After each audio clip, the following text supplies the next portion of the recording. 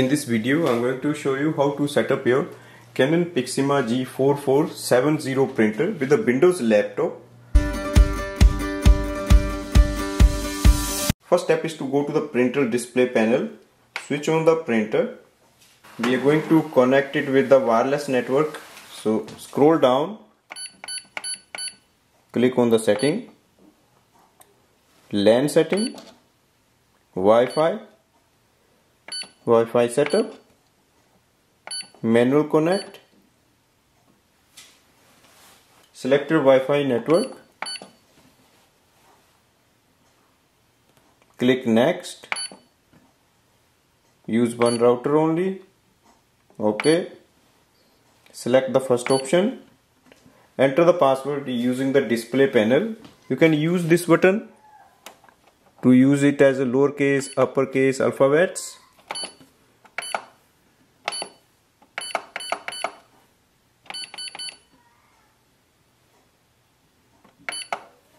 Press OK to apply the password.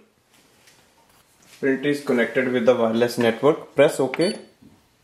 Go to the home button. You will see the signal is available and it is showing connected. Go to your Windows laptop. Go to the web browser. Type in Canon IJ setup G4470 driver download. It will take you to the Canon website with the name of your printer. Select it. On this screen we can see our printer. Scroll down.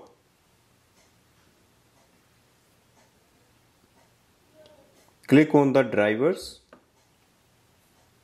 It will detect your operating system. Scroll down.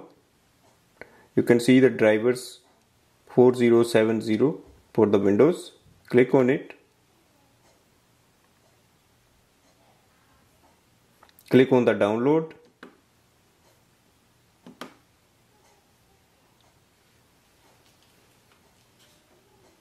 Open file. Click yes.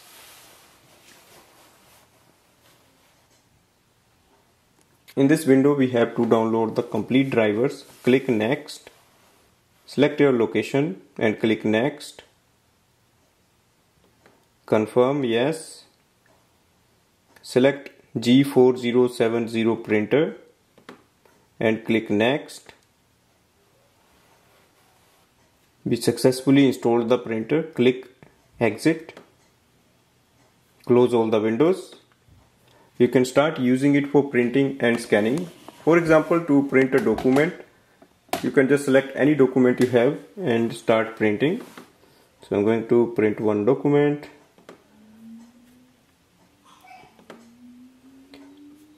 So I can select my printer. I will also show you how to do the scanning so first we will complete the printing.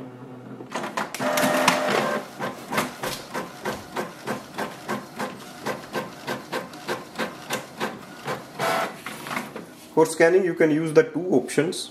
First is using the scan to computer from your printer and the second option is using the windows scan app in your laptop. So you can use anything. So I'm just going to use the scan to computer for Windows Scan app, you can download the app from the Microsoft Office.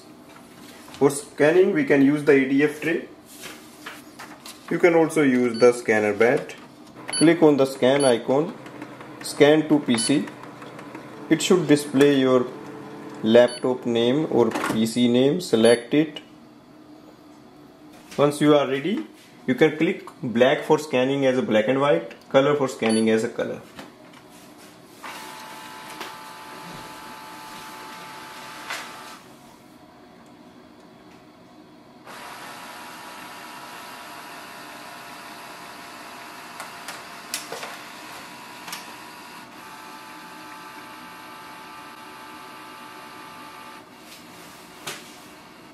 Scan is transferred and automatically it will open the window. You just have to go and double click on the file and it will open it. That's the way we can do the complete setup of this printer and then we can start using it for printing and scanning. Thanks for watching